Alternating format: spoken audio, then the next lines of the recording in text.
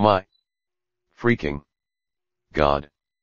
SpongeBob yes Barney no, why the hell would you showing your private parts in your community post, you should be no showing private parts in community post is very disgusting, and you can get terminated by YouTube for that, end of call out.